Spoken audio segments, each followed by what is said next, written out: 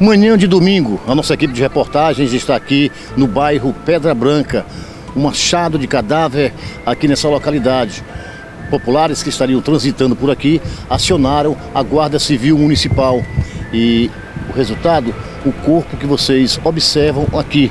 Nesse momento, a chegada de vários populares, bem como também aqui já a VTR da Guarda Municipal, a viatura da Guarda Municipal, policiais do Ronda do Quarteirão, policiais do POG estão aqui resguardando o local de crime, né, esperando também a presença e a chegada da perícia e, consequentemente, do rabecão.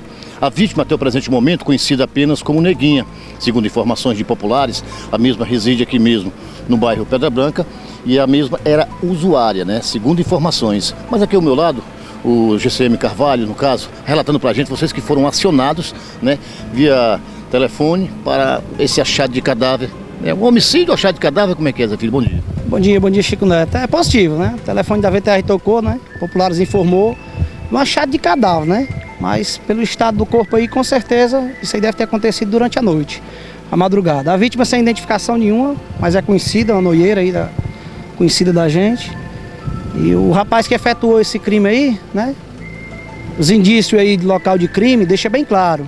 Teve relações sexuais com a vítima e possivelmente, né, a morte e estrangulamento. Já visto que tem uma marca preta no pescoço dela, como se ela tivesse sido enforcada com a corda, um cordão, alguma coisa desse tipo, né? Bastante evidência aí no local de crime.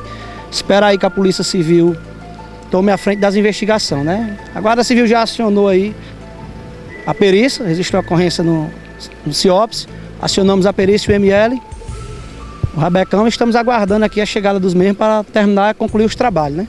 É importante salientar também que ela mesma se encontra aí de roupa, né, Zé? Positivo, ela está com seus vestes normais, né? E eu acho que deve ter acontecido aí o, o elemento aí depois que, que teve a relação, como eu já frisei com ela, que tem sacos de preservativo no chão, até mesmo a própria camisinha também está do lado do corpo, efetuou aí esse homicídio contra a mesma, né?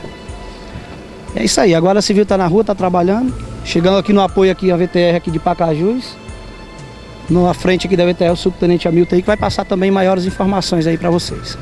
Tenente, conversa com a gente? Algum, algum, algum, algum fato assim relevante que já pôde ser levantado pela polícia na questão, e a mesmo que era usuário, enfim, coisas dessa natureza, alguém fala alguma coisa ou predomina como sempre a lei do silêncio? É, como o Carvalho já falou aí, né? Muito subjetivo, não tem nada de concreto não tem identificação, apenas só a alcunha de que é Neguinha, o apelido dela. Só pouca coisa a gente pode passar para vocês no momento. Ela é conhecida, subtenente, assim, no mundo do crime assim? Ela, ela que tem uma tatuagem de palhaço na sua coxa direita? Não sei informar. Não posso informar a respeito, não tenho conhecimento com ela, estou ouvindo falar dela hoje. Aí, gente, essas informações são poucas as informações, mesmo porque é um lugar ermo, né? Pessoal passa por aqui esporadicamente assim para pegar a BR-116. Nós estamos a menos de 20 metros da BR-116. E aqui um lugar de, de fácil de entrar, sair, e, enfim, uma área privilegiada na questão da rota de fuga. Aqui no momento, mostra ali, Ariel. Ariel viu aqui nas imagens. É, como eu bem frisei na matéria, como bem já mencionou o GCM Carvalho, é, uma tatuagem de palhaço. Ali, logo à altura do pescoço, tem assim, como se fosse é, um fio que foi colocado no seu pescoço, né, para matar mesmo com asfixia, né? E com certeza, assim, uma jovem, uma jovem, né, que teve a sua vida ceifada nessa madrugada. Não sabemos ainda o horário, é bem verdade. Mas logo ali, olha só, o sapato, acreditamos ser do assassino, né, que tirou a vida aí da neguinha. Mas assim, dessa forma, né? Camisinha também, muito bem lembrado aqui por populares, olha só. Camisinha, apenas o lacre, né, da camisinha. Ali bem perto dela ali, ó, outra ali, outra camisinha. Aí, na verdade, eu não sou expert no assunto, mesmo porque quem poderá fazer todo esse levantamento será a perícia que já está a caminho de Fortaleza. A perícia e, consequentemente, o rabecão do Instituto de Medicina Legal, que irá conduzir o corpo até é, Fortaleza para fazer os levantamentos e saber, na verdade, de como foi tirada a vida da neguinha aqui no bairro Pedra Branca.